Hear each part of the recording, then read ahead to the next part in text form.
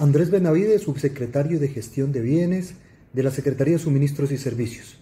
Quiero contarles que hoy el Centro Comercial Bazar de San Antonio abre sus puertas nuevamente al público. Esta importante decisión se toma luego de tres visitas de la Secretaría de Salud y del apoyo decidido de la Subsecretaría de Gestión de Bienes. Con esta decisión, 230 locales comerciales abren sus puertas y beneficiarán a 800 personas que dependen económicamente de ello.